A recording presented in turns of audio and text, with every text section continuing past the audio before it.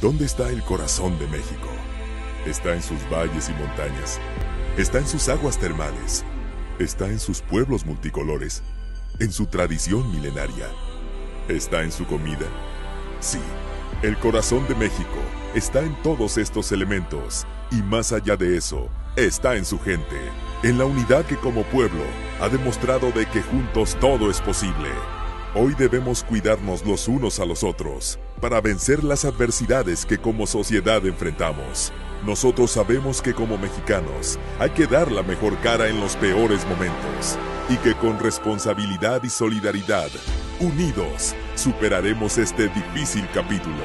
Y cuando todo esto pase, el corazón de México resurgirá fortalecido e Hidalgo abrirá nuevamente sus puertas. Estaremos listos para recibir a propios y ajenos en esta mágica tierra. Y podrás disfrutar de su cultura, de sus hermosos parajes, de las aventuras, de sus pueblos mágicos, de sus aguas termales y sobre todo de la calidad y calidez de su gente. Hidalgo Mágico. Hidalgo crece contigo.